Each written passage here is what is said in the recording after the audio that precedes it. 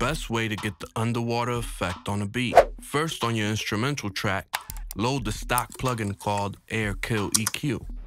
Then click the high and mid band boxes.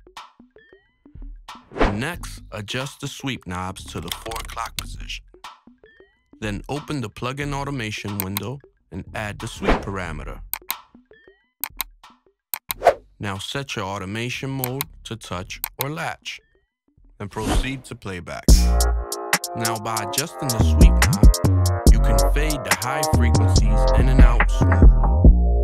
On touch mode, letting go of your mouse returns the sweep knob back to its default position.